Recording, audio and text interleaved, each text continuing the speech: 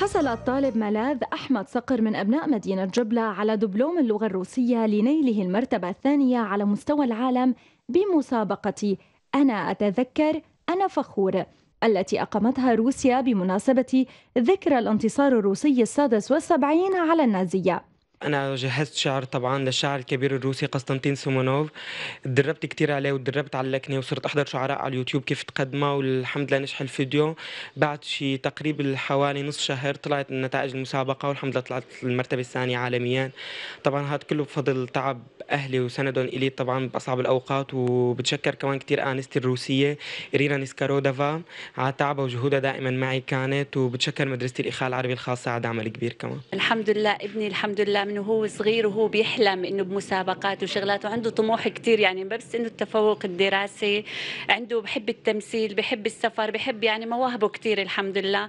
آه، بالأول الاعدادي حب اللغة الروسية وتابع مع انسه كثير كويسة وحبابة وحب يتابع فيها والحمد لله فاز بمسابقة عالمية. وكان الطالب صقر فاز بأولمبيات اللغة الروسية على مستوى سوريا وحصل على رحلة ترفيهية لمدة شهر إلى روسيا ومعسكر أرتك الدولي.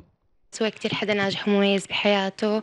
آه، تعب وسهر حتى قدر يوصل لهون آه، وحقق نجاحه. إن شاء الله لسه بالأيام الجاية يحقق أكتر وأكتر ويوصل محل ما بده وبيتمنى.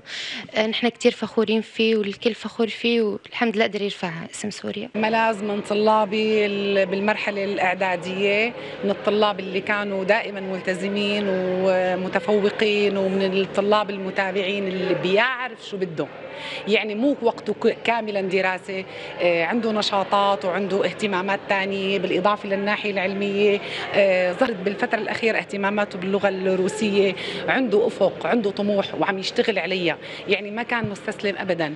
فأنا كثير معجبة بشخصيته.